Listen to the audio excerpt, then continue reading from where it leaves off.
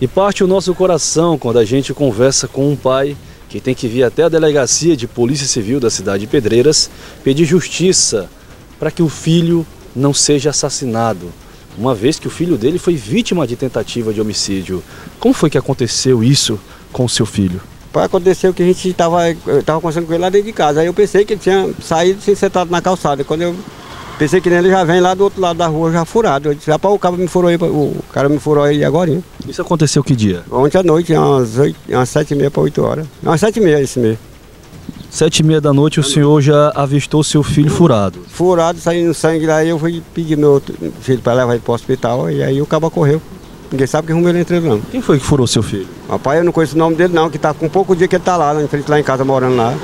O seu filho, quando ele veio furado, ele veio de qual local? Ele veio de, frente lá de casa. Não dava, não dá 10 metros não de, de longura não. Ele teve alguma rixa, alguma briga com essa pessoa no momento? Não, não, eles, eles gostavam de estar brincando um com o outro lá e uns 15 dias que ele tinha conhecido ele lá, né? E aí quando ele disse que ele foi pedir para ele se calmar, que eu acho que ele estava embriagado, aí.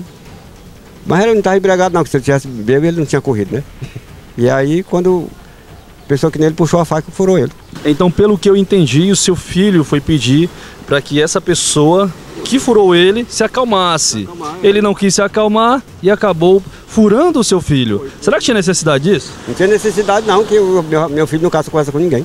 Quando o senhor, o senhor viu o seu filho sangrando, vi, daquela forma, vindo até o senhor, qual foi a sua primeira reação? Aí eu só pedi, eu só disse para ele, rapaz, tu furou meu filho, por que tu faz uma coisa dessa? Você ainda conseguiu falar ah, com o acusado? Falei com ele ainda, mesmo assim, ele disse, rapaz, eu, eu nem vi, que, que negócio não viu, rapaz, tu furou porque quis uma facada dessa em cima do peito. Depois que comete o crime, se faz de beijo, diz que não aconteceu nada. Faz de beijo, aí fugiu. E agora, será onde é que ele está? Ninguém sabe onde ele está não, e eu, eu peço que haja justiça, né?